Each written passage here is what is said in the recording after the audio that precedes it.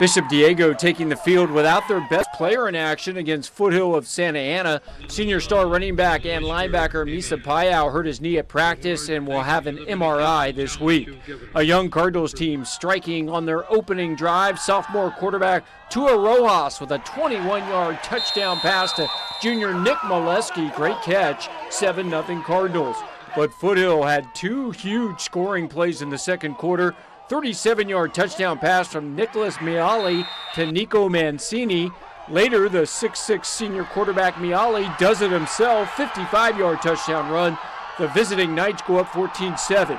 But the Cardinals tie it up. One yard touchdown run from Gabe Villa, 14 all at the half. Bishop comes out strong in the third quarter, following a 45 yard run by Jason Lotu. Tua Rojas finding Dominic Herrera for a 35 yard touchdown Cardinals back in front 21 14.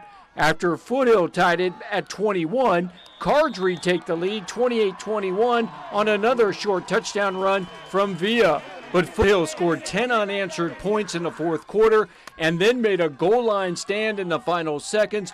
Bishop Diego losing a heartbreaker 31 28. Reporting from La Playa Stadium, this is Mike Klan.